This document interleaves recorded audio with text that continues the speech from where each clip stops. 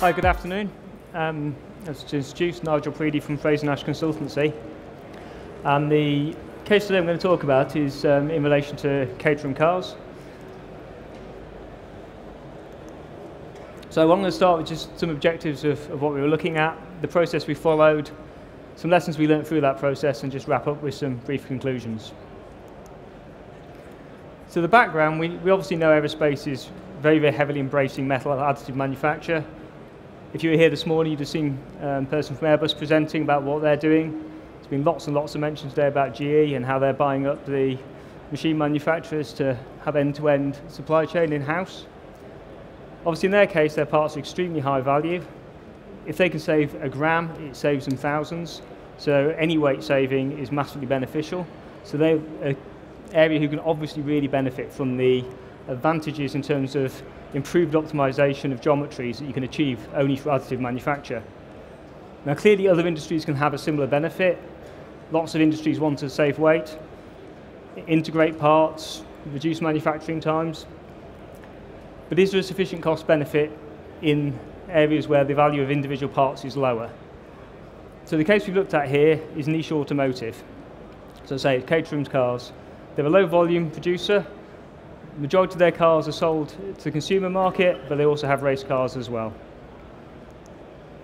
So the first step in the process was to identify exactly what part we were going to look at.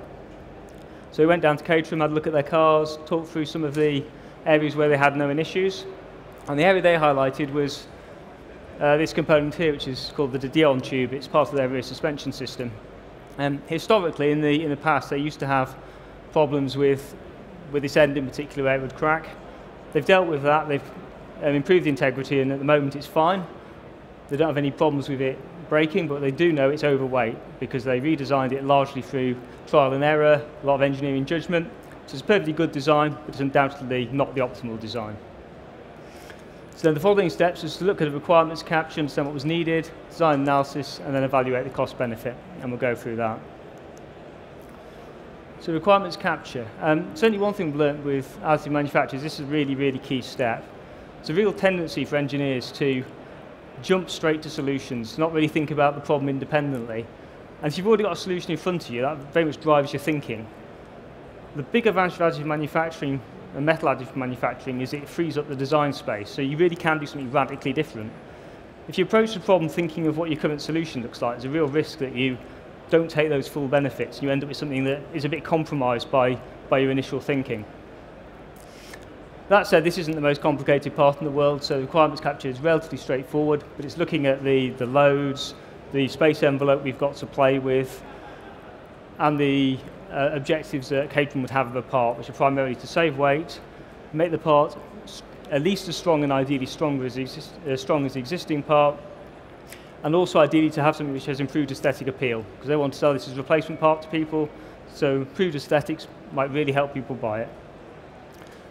Just a, a quote from Albert Einstein thrown there that if you have an hour to solve a problem, we spend 55 minutes thinking about the problem and five minutes thinking about the solution. I think my experience in most engineering is we tend to do the opposite and think about the problem for five minutes and then start creating solutions.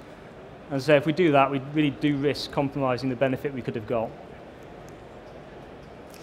So the next approach was to look at the um, redesign, and the first step there was to create a benchmark.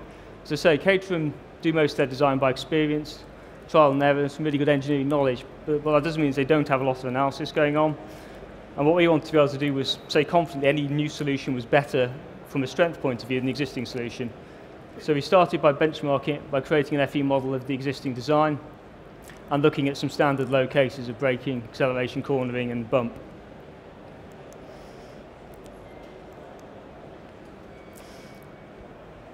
And one thing it did show was we were getting the high stresses in the areas where they do still occasionally have issues. So on their race cars, these parts are still replaced. They don't last full life on the race cars. And these are the areas where they see the initial cracking. So it gives credibility that our FE approach is indeed capturing the correct behaviours. So then taking the next step of the redesign. Again, if you saw the presentation this morning from the uh, chap from Airbus, he was talking a lot about topology optimization and it's certainly an area that really lends itself to additive manufacture. The concept being that you can use an analysis method to determine where best to put a certain amount of material to achieve a given strength. So it achieves the lowest weight for a given strength. Again, what we said before about taking your current thinking, the other advantage using a numerical method over just a, a conventional design approach is it's not influenced by what it knows beforehand. It's a totally neutral approach and may create some new ideas. So here we weren't trying to get to the final product from the numerical simulation. We were just trying to give ourselves ideas as how we get there. And we've looked at different scopes of the redesign. So this first one was just looking at the end of the tube. The Dion tube actually has another component on the end called the Dion ear, and we've looked at that. And we can see in that case we were talking about weight savings as much as 40 odd percent um, which just shows how much material in that particular component is really not being used. Um, huge areas of very low stress in the initial design. We also looked at an integrated design because another potential benefit is integrating multiple components. So this is three different components um, integrated together. Now one problem we did have, which again goes back to conventional thinking, is this step from the numerical answer to the CAD. I had a a CAD engineer doing some work for me there, and he is very used to designing for conventional parts. And you can very much see it in the output he was creating. He was trying to interpret this organic numerical solution back into something in CAD, and we, we lost a lot of the benefit immediately there because that's how he knew to do CAD. And we'll see on subsequent slide someone more able to do the better job there. The upshot of that is the weight saving we see here isn't actually huge, but the real weight saving is much higher because a lot of that was lost between these two steps here, and we can do better than that. So we then decided to take the most integrated solution forward because we thought there was more weight saving to be achieved. And this is what we came up with. So the top left is the original design. So it's the end of the tube, the Dion ear, and then there's also another bracket on there which holds a speed sensor. And on the right is our final design. So we've seen a weight saving of approximately 20%, coupled with quite a significant drop in peak stresses, and that's more than enough to compensate for any loss of material performance from an additive manufactured material versus the original material. We've also combined three parts, so simplified the assembly. And as I said at the beginning, one of Caterham's key issues is aesthetics for this part because they want to be able to sell it to people to replace their existing parts. And certainly my view is that's a, a significant enhancement in aesthetics. So what about the cost benefit? Because that was the original question.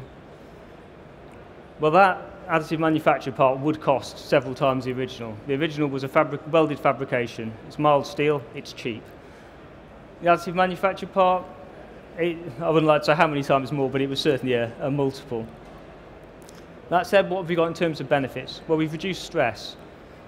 One major advantage of reducing the stress is if we're having a part that doesn't have a long enough life, as long as life as the car, we can get a, a benefit there because we're not having to replace it. So if it was twice the price and we only had to use half as many, it's paid for itself. Integrating parts. So this isn't a great example of that because it's a fairly simple assembly, but again, it's another way to achieve savings. And aesthetic appeal. The other part of it is how much can you sell it for. So if it's got greater aesthetic appeal, the sales price can go up. So even if the production price is higher, you can justify it on that side. So at the end of that, is this, is this a viable solution? Well, the unfortunate answer is that it, isn't really in this particular case. We're competing with a really low cost original part, and the additive manufacturing solution today is just too expensive. But that's today, and we know prices are falling. So in a few years, I think that conclusion will change. And the other thing to note here is when we set out on this, we looked at what's the part where we can improve the engineering the most we didn't start by saying, what's the part where we can improve the engineering and it will be cost effective? If I went back to the beginning, I'd choose a different part, and I'm certain we'd come to a conclusion of yes, we can make this part viable. Even for a company like Caterham, or a small, low volume manufacturer, they can make use of additive manufacturing today. Some other issues that they would need to consider though, repeatability and reliability are major concerns in metal additive manufacturing. It's a real concern that if you take the same part and manufacture it on two different days, it won't be quite the same. You manufacture on two machines, it certainly won't have the same material properties.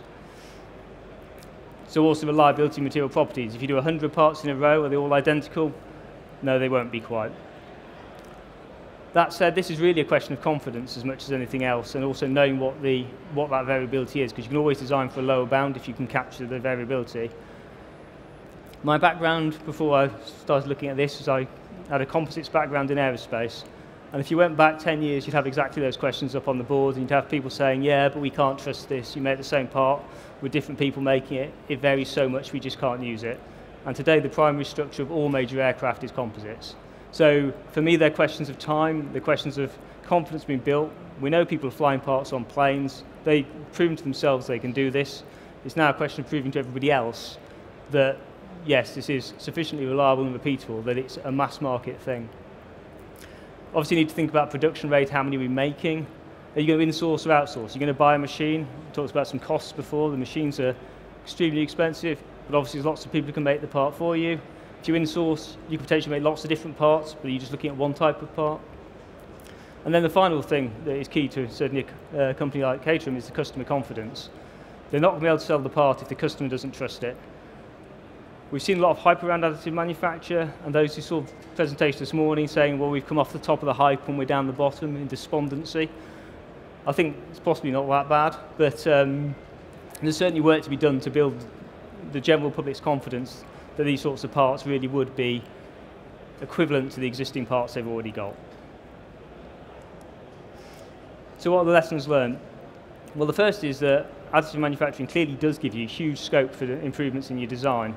You can do things with additive manufacturing that are impossible by any other means, and that opens up the whole possibility of real um, optimization of your geometry. The optimization software has been around for years, but the actual ability to apply it to most cases just hasn't been there. It's been too difficult to manufacture. Again, going back to my aerospace experience, I was at Airbus, I've been using optimization technologies for 10 years, but they weren't really seeing huge benefits in the weight savings because they're going to conventional manufacturing processes, and at that point, all the benefits they designed in the start, they were having to lose as they redesigned it to manufacture it. AM prevents that, so that's a real, real benefit. But if you're going to take the advantage of it, well, you need to be robust up front. It's no good taking your existing mindset into the design because you will end up with what you started with with additive manufacturing, so it'll probably be more expensive. So that doesn't make sense. You've got to start by being really clear about what your real drivers are and then coming up with the best possible solution taking full advantage of additive manufacturing. So I didn't really mention in pass passing was as I went through my various designs, I was jumping through about four different software packages. There's lots of software providers who insist they have an end-to-end joined-up solution, and I was talking to one earlier this afternoon. Um, I, maybe they do now, but six months ago, it wasn't really there. That's certainly improving dramatically, and there's lots of people promising it, so no doubt that sort of problem will go away and make it much, much easier for people to adopt the technology. Well, I've mentioned cost quite a lot, so cost is high, but we know it's falling, so again, that helps. I mentioned the other barriers about repeatability, reliability, but again, for me, that's all about confidence, and that confidence is building. So answer the original question, is the potential for other um, industries to adopt additive manufacturing? Yes, absolutely. It really is quite broad, the companies who could be adopting this now, and if not now, soon. So a few final conclusions. So we've come up with improved design. It clearly met the design requirements, the engineering requirements, but it wasn't cost effective today. But go forward a few years, that will be cost effective. Have we looked at another part? Have we started knowing at the end, knowing at the beginning what we knew at the end? We could have found a part that would have been cost effective today.